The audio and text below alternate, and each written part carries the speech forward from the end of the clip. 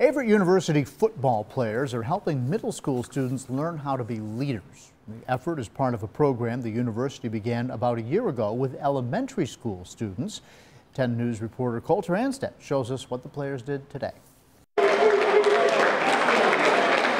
As sixth graders at Bonner Middle School walked into the school's auditorium, they received a standing ovation from the Averett University football players. We're going to help y'all get to where we at. And y'all going to help us motivate and get better in life. The players have been serving as mentors for the students for about two weeks. Every week this semester, players will spend time with the students. Omar Farag is one of those students. Today is very inspiring and I think it'll change a lot of things that we can do in the school this year. For him, the biggest takeaway from today's speeches by the football players was their message about individuality and leadership. Don't be afraid to be yourself and don't be afraid to be a leader.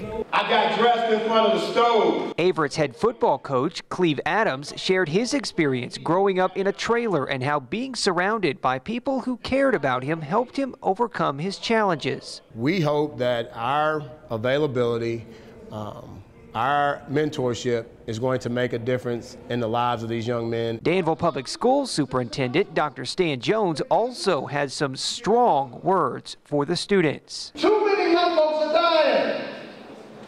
Period. Over nonsense. A powerful message that may be just what the students needed to hear. In Danville, Colter Anstadt, 10 News, working for you.